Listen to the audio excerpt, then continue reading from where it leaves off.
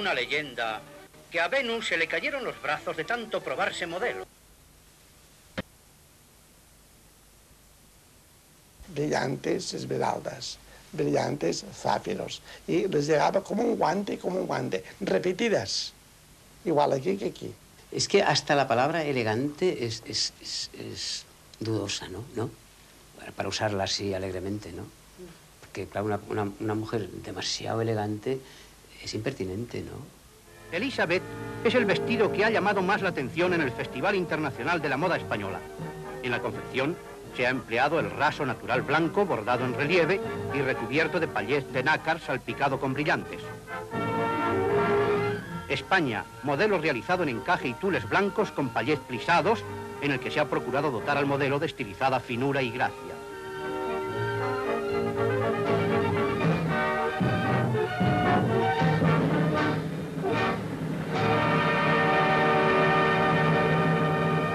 Yo he en la moda eh, eh, en la época maravillosa, porque estaban los grandes, los grandes mitos de la costura, de la alta costura, y, que estaban en, eh, que eran los de Francia, los de París, y, y luego los de los españoles, ¿no?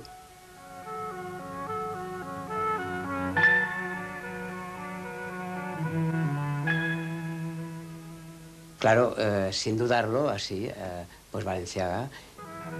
Valenciaga utilizó el esplendor como si quisiera anular la oscuridad, lo perecedero, las desilusiones. Su obra está pensada para durar eternamente. Tiene voluptuosidad, ingenio, serenidad. El, fenomenal Valenciaga, pues porque era, era grave, era, era, era la perfección, era un, era un botón, era un milagro, vamos, era... Yo creo que no ha habido nada más, comparativamente, ¿no? Valenciaga ha sabido convertir un arte frívolo y efímero en algo perenne, en pieza de museo. Y en las salas de todo el mundo se exhiben los vestidos de Valenciaga entre los desnudos de esculturas y cuadros. Porque las encantadoras obras de la vanidad y la coquetería son ya historia.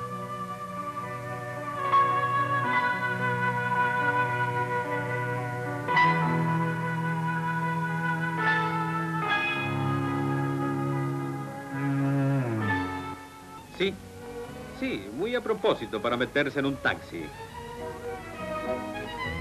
Ahora veremos cómo entra en el coche.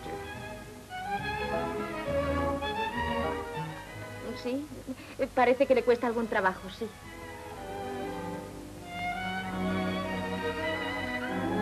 Bueno, eso no vale, es trampa. Esta es la ventaja del cancán. Se lo quita una cuando quiere. Y el chofer lo guarda en el maletero. Se pondrá bueno. A mí me gustaba que la mujer luciera su cuerpo. En el saco parecía que no podía ser, bien hecho sí podía ser. Si al moverse el saco se notara que la mujer había, estaba dentro, ¿entiende? Ahora, si es el traje que más me ha gustado de las épocas, no. Pero que lo hice y bien, porque gustaba.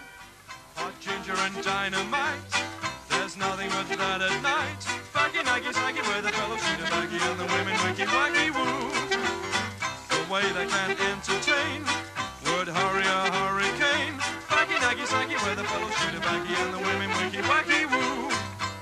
Oh, Fujiyama, you get a mama, and then your troubles increase. In Tampicoda, she ordered soda, the earth shakes milk ten cents a piece. They kissy and huggy nice. Los mercados importantes del mundo, digamos Japón, digamos Estados Unidos, eh, son mercados lujo, es decir, que compran marquismo y lujo. Nosotros no hemos producido y sigue sin producir España lujo, es decir, nosotros no producimos sede natural, nosotros no producimos encajes, nosotros no producimos una serie de elementos que se consideran lujo en costura.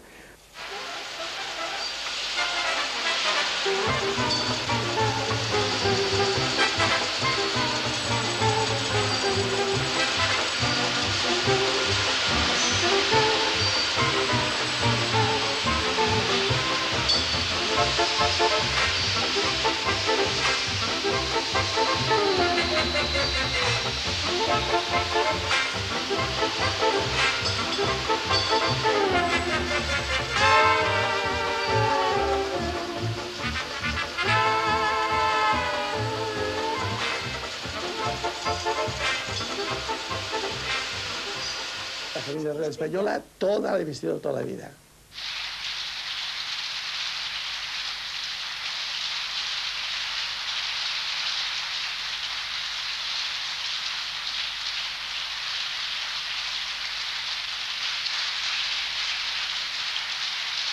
Sí, sí, muy bonito aquello, ¿verdad? Ahora, que yo la placa que tenemos, eh, la tengo, sí. pero no sé dónde está, fíjese. Pero Asunción. Una la tiene mi hijo, la otra no sé dónde está. Es que yo rompí todo, lo rompí todo yo.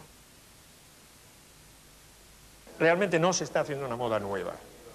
Todo lo que se está diciendo hoy que es una moda revolucionaria, nueva, eh, y hay una serie de palabras que, que no son nada más que palabras, como postmodernismo, a mí me parecen unas pamplinas, todo. Realmente lo que hay es una, eh, una evolución de una moda clásica. Mientras contemplamos la exhibición de diversos modelos, digamos que la moda española discrepa de la alta costura de París. La falda se mantendrá larga y no admite el recorte por encima de las rodillas que pretende imponer el joven Saint Laurent. Figuran aquí vestidos de muy diversa índole y para todas las horas del día, sin olvidar los de cóctel y noche. Yo hice siempre mi estilo porque yo no puedo hacer una cosa que no me guste. Si un traje no me gustaba, este traje se anulaba. La minifalda luché dos años sin querer hacerla, pero tuve que claudicar. Bueno, aparte de aquel momento, hace... Aquel tan delgadito. Y- No, tu Pío XII es el gordito. Juan XXIII fue llenito. Debe y ser. luego vino Pablo VI. Mire, Pío XII, el anterior. tengo yo el que lo guardo, que está amarillo, amarillo, diciendo abajo la minifalda, y ponen que yo, eh, digo, oye, las monjas de allí, hoy, Sí. las monjas, hoy, si usted dijo que la minifalda no, y es verdad, no me gustó nunca, y la tuve que hacer. No es moda. No es moda. No digas que es moda, por favor. La moda no, la moda, la moda, la no puede ser una cosa que quede en la historia. La moda es lo que queda en la historia.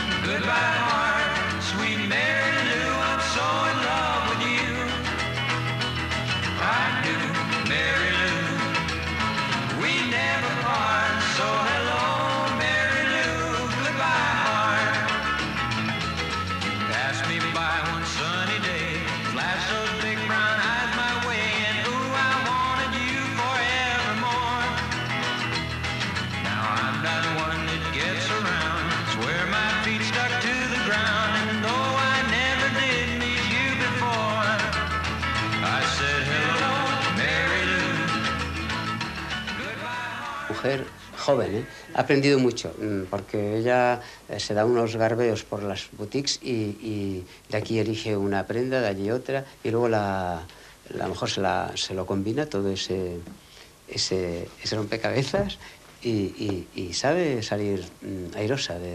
Y antes no, antes era, era un rigor. La calle de hoy es, es un tutti frutti.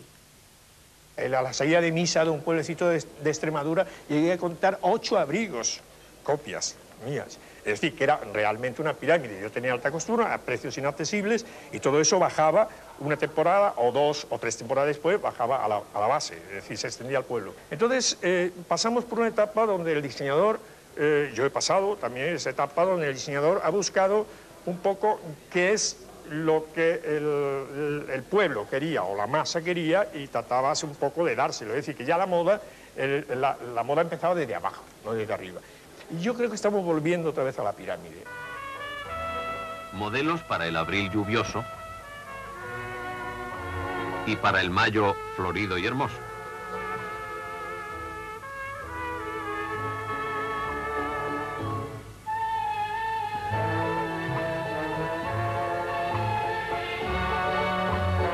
Dicen que al que con lo de otro se viste, en la calle le desnudan.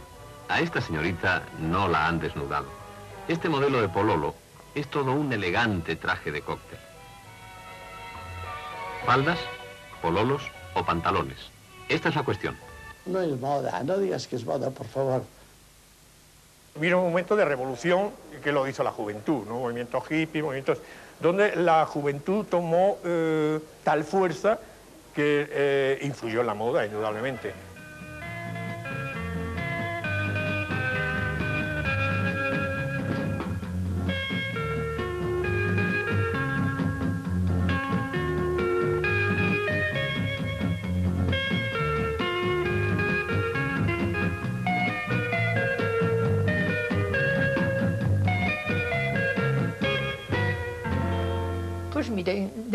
Todo no, porque no favorece. Ir por la calle con cosas muy largas no es favorecedor. Pero es que los que vivimos de la moda hay que poner un poco, siempre lo digo, ahora quizá no tanto, pero es que entonces regía un poco las ideas francesas, que poníamos las nuestras, pero bajo también un poco tendencia.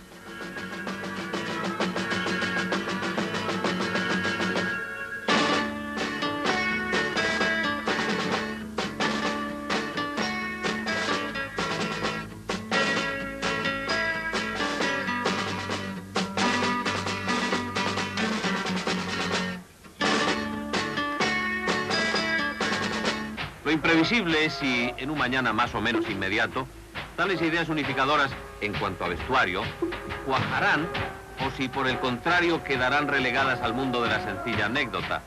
En cualquier caso, esta es una de las notas más sorprendentes de la moda actual.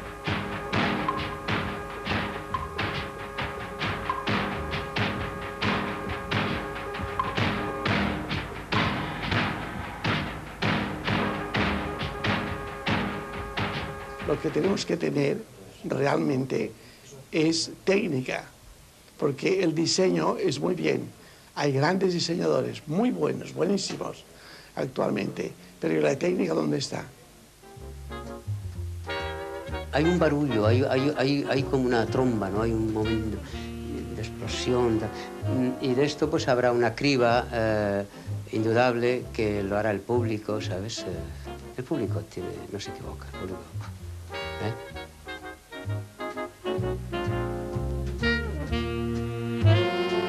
Sí, empezó, acabó mal, no sé por qué. Yo, gracias a Dios, acabé bien, porque acabé sin deber un céntimo a nadie.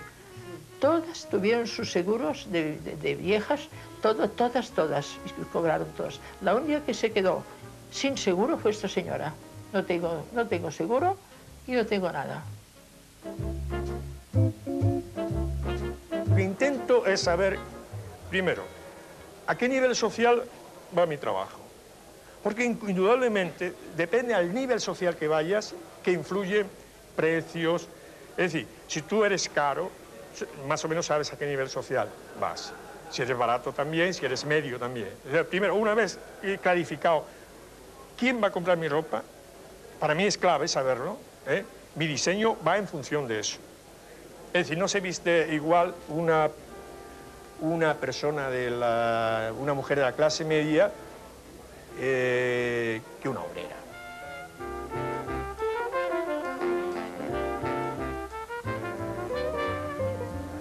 ¿Correcto? Vale.